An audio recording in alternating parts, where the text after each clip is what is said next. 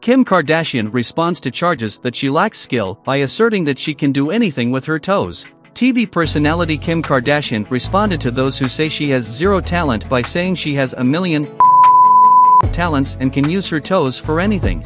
Kim Kardashian responded to criticism by saying she had a million talents in response to charges that she has no talent. Kim, 41, told Interview magazine that she can do anything with her toes and astounded admirers by showing off her fame feature in a photoshoot for the publication. The cheeky photo showed the celebrity in a new light as she flashed her bleached eyebrows and platinum blonde hair in front of the American flag while baring her bum in a jockstrap and gazing over her shoulder.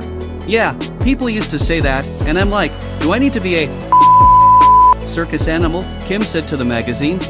She went on, just because we're not singing and dancing and acting on the show doesn't mean that the fame didn't come from that.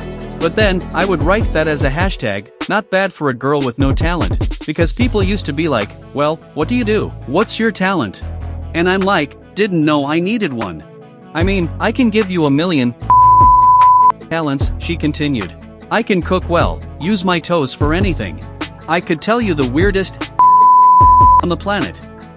Kim talked about her skill, which she claimed to be handling marketing and the business behind selling products and knowing what the customer wants and making it feel attainable, but also a bit unattainable at the same time. Kim continued, I wouldn't say that's a talent. I think it's a bit of magic and business savvy. Maybe it is talent, I don't know.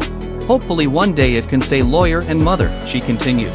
I think those are my most important roles, but I don't really look at my Wikipedia page, so I don't really care.